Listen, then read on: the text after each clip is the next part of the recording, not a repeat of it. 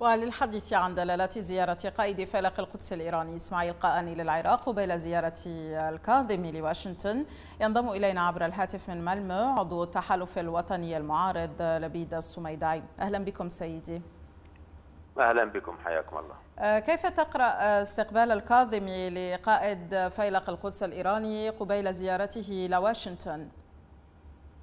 بسم الله الرحمن الرحيم.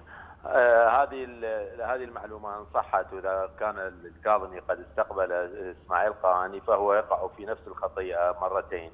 نتذكر أن الكاظمي قبل زيارته إلى السعودية في تموز الماضي استبق الزيارة جواب ظريف وكان هدف جواد ظريف آه، هو التشويش على زيارة الكاظمي للسعودية رغم أنه الكاظمي كان في جدول زياراته أنه بعد السعودية سيزور طهران فلم يكن هناك تفسير لزيارة ظريف الاستباقية إلا أنه جاي يشوش على الزيارة وفعلا نجح ظريف في التشويش بحيث رد الفعل السعودي كان أنه آه، ألغوا زيارته إلى السعودية بحجة أنه الملك دخل المستشفى لإجراء فحوصات. وهذه هذه عذر دبلوماسي كما نفهم. إسماعيل قاني آه، زيارته إلى العراق تهدف إلى اولا تشويش على زيارته لواشنطن لأنه يعرف جيدا أن مجرد وجوده في العراق قبيل زيارة قبيل سفر كاظم إلى واشنطن آه، سيثير حساسية صانع القرار الأمريكي.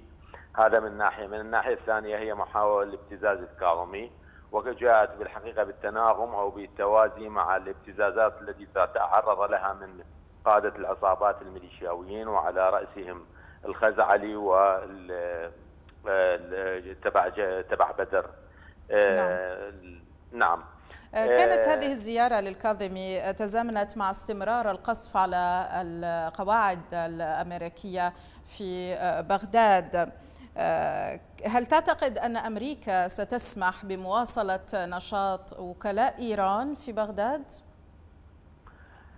بالتاكيد أمريكا لا ترغب بهذه الفوضى الإيرانية وهذا التدخل الفظ في في الملف العراقي، ايران تمسك بخوانيق صانع القرار في العراق وهي التي تتحكم آه، بشكل بنسبة عالية في مسار العملية السياسية القائمة في العراق وهي التي تبتز آه، القادة العراقيين سواء المشرعين أو سواء في السلطة التنفيذية أو حتى في السلطة القضائية. هذه هذه الصورة بالحقيقة واضحة بالنسبة للسيد الأمريكي. لذلك أمريكا تريد من الكاظمي أن ومن خلال هذه اتفاقية الإطار الاستراتيجي والحوار الاستراتيجي الجولة الثانية منه تريد أن أن أن يتخذ أن يكون حاسما.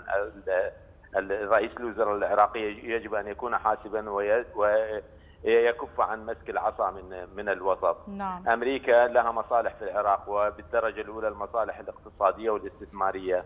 أمريكا تطمح إلى توسيع وتوطيد استثماراتها في العراق لكن آه، لكي يتوفر صمام أمان يجب أن تكون هناك استقلالية للقرار العراقي.